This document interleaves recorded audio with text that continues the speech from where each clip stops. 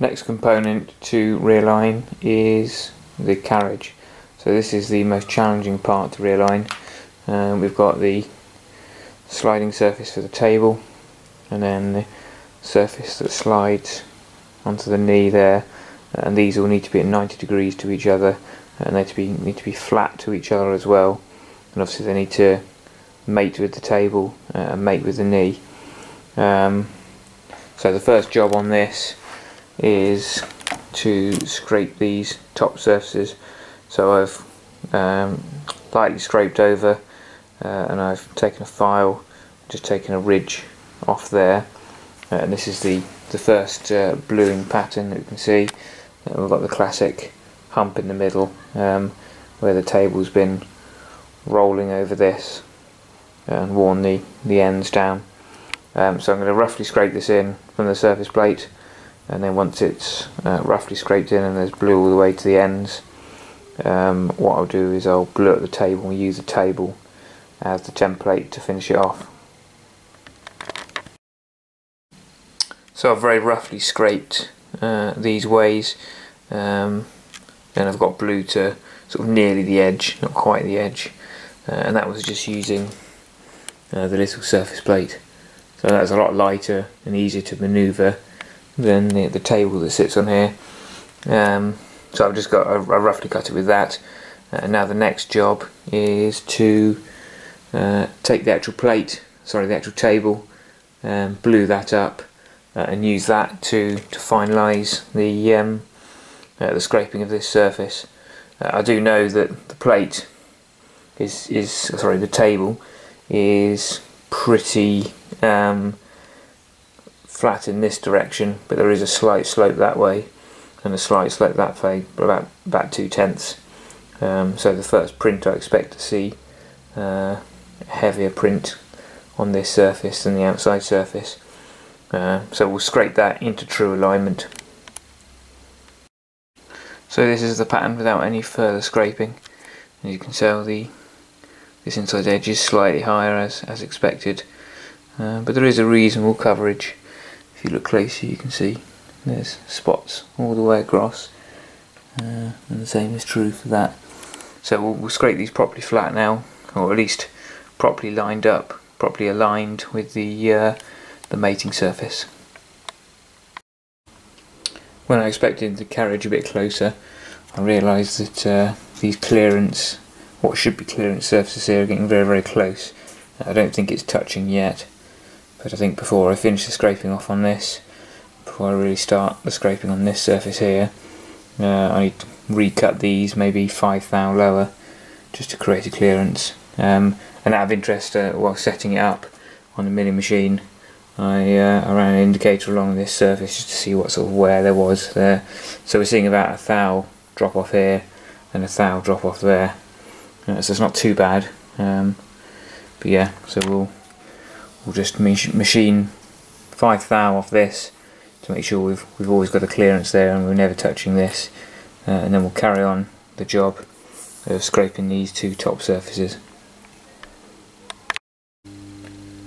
So I ground up a little fly cutter and I've cut the clearance in there. I ended up taking about 15 thou off just to uh, make sure if there's any wear in the future then it doesn't uh, end up uh, contacting that bottom surface. So I've finished off scraping the top of the carriage. I scraped that surface, that surface, and, and now that surface, uh, and that was done against the against the table.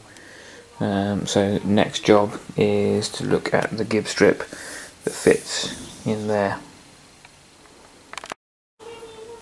So I've rubbed the strip against the blued surface and you can see that uh, it's not very flat. I've got a little bit of contact in the corner there bit of contact top and bottom there, a bit of contact at this end.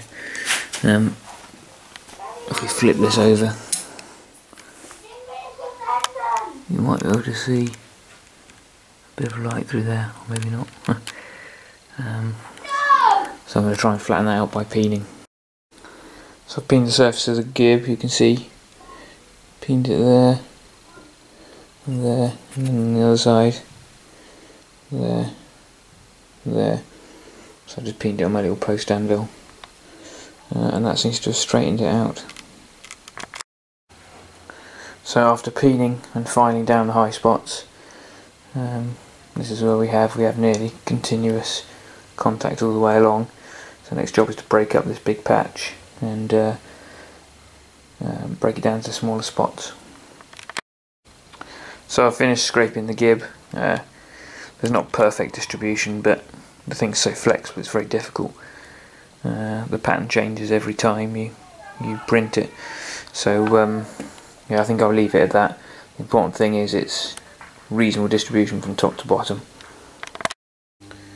So I've machined off uh, about eight and a half thou um, off the back of the rack just to compensate for the uh, wear in the table and then me scraping it flat and the wear in the saddle and me scraping that flat as well.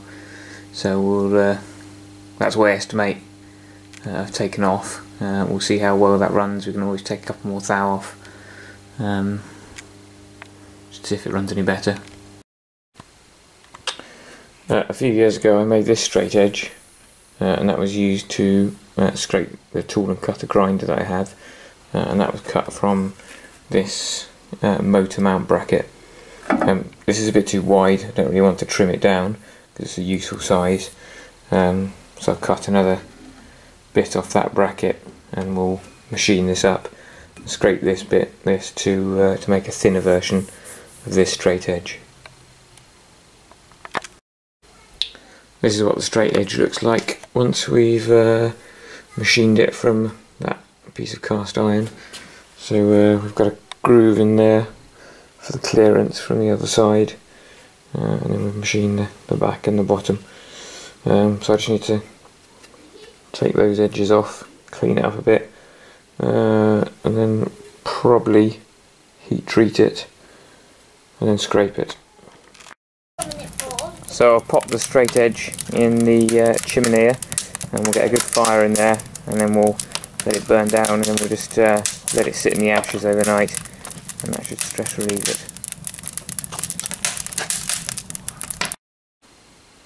So this is a view of the final finished straight edge and uh, you can see I've scraped the top and also relieved this a little bit more.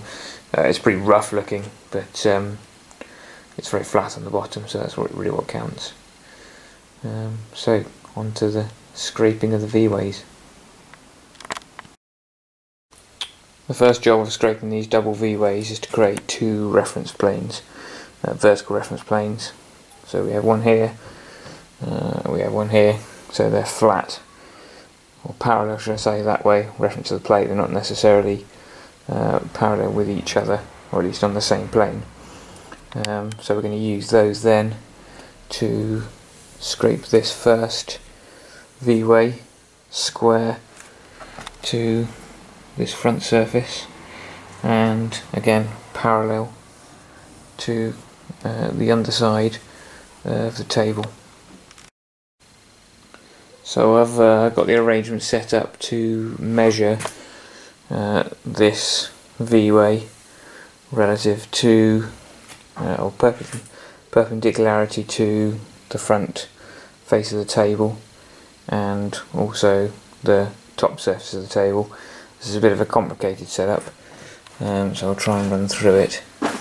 So we have the back resting on this reference way that we scraped earlier. We have the front roller in the V-way. Uh, and then we have the first indicator referencing uh, a DIN zero square that's clamped to the front face of the table and the second indicator that is uh, referencing the top surface of the plate. Um, so I've checked this, quite a repeatable arrangement despite its quite ungainly appearance. Um, and it seems to uh, seems to work quite well. Um, in terms of measurements, what we have is about three thou difference in terms of height between this end and this end which ties up with what we saw on this way uh, and we have just under one thou in terms of this direction. Um, so the first thing I'm going to try and tackle is the um, out of parallelism with this this surface here. So I've done some initial heavy scraping on this um, and the result is um, vertically I'm fairly flat now, taking that 3 thou out on the majority of it um, but I've made it slightly worse in that direction. So relative to that front face of the table this runs out by about 1 thou um, so you can see that when I show you the two dials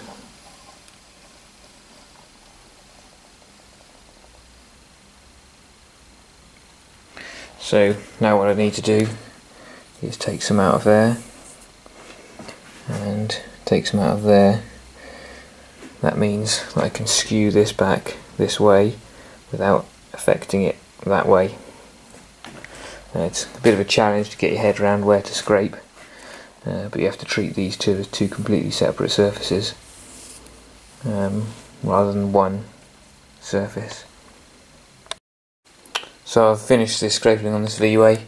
Um, so vertically I've got it within about a tenth and horizontally it's within about four tenths um, uh, or two tenths for most of the way and then we've got a bit of a drop off here so maximum four tenths uh, obviously the most important one is the vertical one.